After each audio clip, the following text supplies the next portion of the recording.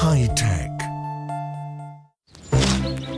Here in his Geneva home, where he's been living for the past 60 years, Armand Rodefort is trying to enjoy a well earned retirement. This 85 year old former mechanic spends his days reading and gardening. It's a nice, quiet life if it weren't for one slight detail.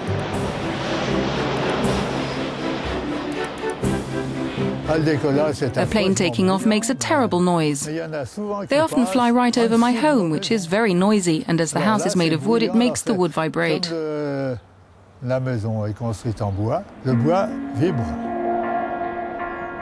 here in Armand's garden, like in a dozen other places around the airport, the local residents' society has set up a microphone to measure the noise pollution. Every sound caught by the microphone is measured and automatically transferred to a website which publishes the results. That makes it possible to work out that the 89 decibels measured in Armand's garden that day, equivalent to the sound of a lawnmower, came from a Continental Airlines Boeing 764.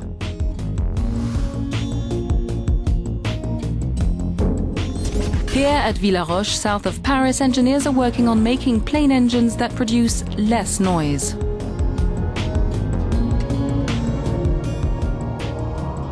This is a CFM 56 stroke 5 engine which you find on the Airbus A320. In order to reduce noise on this kind of machine, you need to increase the diameter of the blower for the sake of efficiency.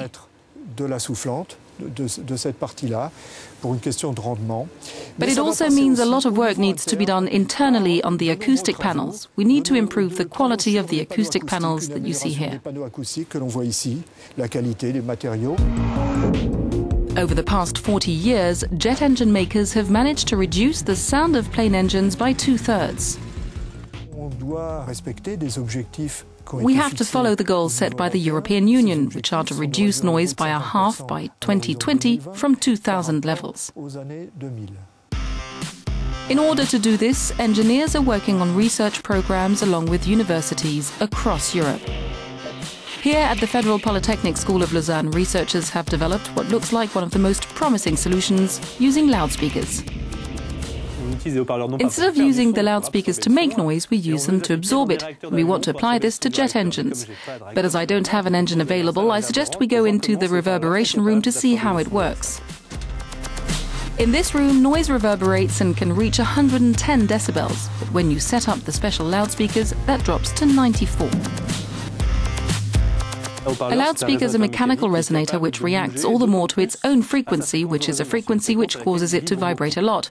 By doing this, it's able to absorb a bit of sound energy, so the acoustic wave, which makes the membrane vibrate, is somewhat lost in the mechanical process. Imagine you're playing football and you receive a ball. If you stiffen up, the ball will bounce off you. But if you follow the movement, you'll absorb it. Well, that's exactly what happens with the loudspeaker and the acoustic wave. These loudspeaker membranes, which capture sound energy, will be reproduced on a miniature scale and integrated into the sides of the engine. Equipped with an electrical system, these small loudspeakers will even be able to adapt to the different frequencies emitted during takeoff and landing. Well, that would be a step in the right direction, says Armand. But Armand's going to have to be very patient, as it's estimated the new technology won't be around for another decade, and anyway, no law obliges jet makers to update their engines.